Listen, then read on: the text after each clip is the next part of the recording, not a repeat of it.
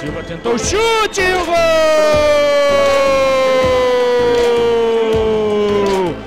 Foi o Juninho pra bola. Ele pode tentar a bola pro Max. Errou totalmente agora o Juninho. Vem o Alan na velocidade. Tá no 3 para 0. Agora o Atlético e o gol!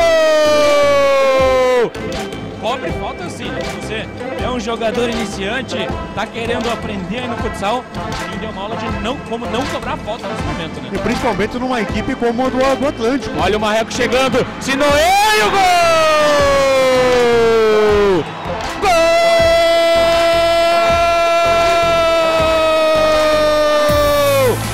Sinoé! Com mais a saída do Atlântico e tendo um pouco de dificuldade nesses primeiros minutos do segundo tempo. Olha o lançamento Sinoé. Ele pode tentar o chute e gol!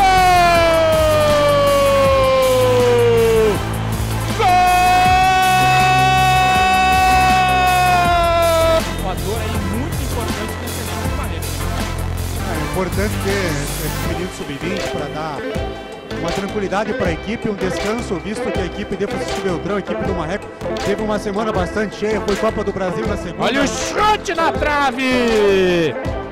E a arbitragem marcou o gol. Vamos buscando o replay, mas está confirmado o gol para a equipe do Atlântico. A bola bateu na trave. um empate.